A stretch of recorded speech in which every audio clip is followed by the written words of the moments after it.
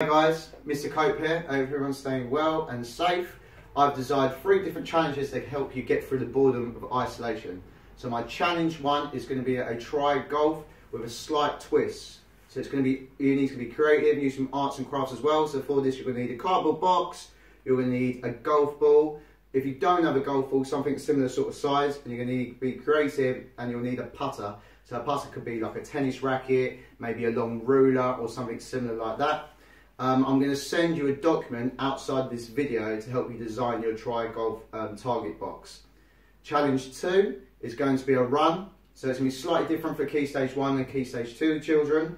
For Key Stage 1 children, I want you to run, do a 1k run. And for Key Stage 2 children, I want you to do a 2k run. So you can nominate someone within your household or you can nominate a friend or family. So the idea so if I was in year 4, Key Stage 2, so I do a 2k run and I would nominate two separate people to also do a 2k run. So we can use different forms of social media to, to promote this. And finally, my third challenge is going to be a keepy up challenge. So using a football, I'm going to use my feet, my lower legs, my knees, my shoulders, or even my head to keep the ball off the floor, to juggle it and do as many keepy uppies as I can.